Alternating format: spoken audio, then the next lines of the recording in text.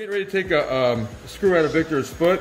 I found a screw with my thumbnail. What I'm gonna do is try to stick this needle straight down the center of the screw and nailed it right there.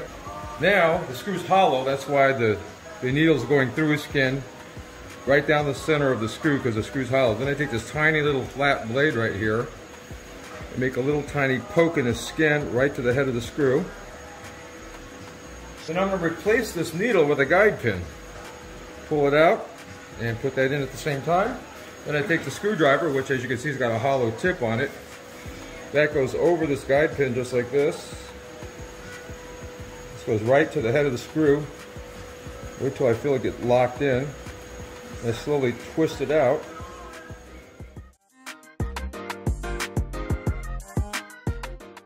And here it comes. Look at that. There's a screw coming out of his foot just like that. Harder to turn because the bone's so dense. And there it is. It's loose. There's a screw coming right out of his foot. Just wiggle it right out of there.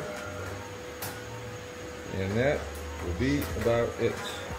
There's the screw. Now all I need to do is just kind of rinse it out. See that tiny little nick in his skin? I'm just going to rinse it out with this angiocath. And all they need to do now, put one stitch in there.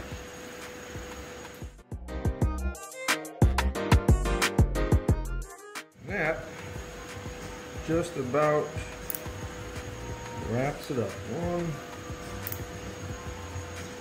two, and three. And we'll just cut that real quick.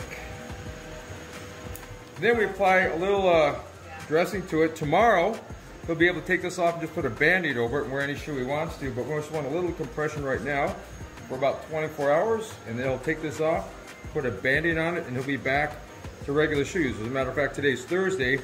He's going right back. He's flying to, where are you flying to? North Carolina. North Carolina to do a job.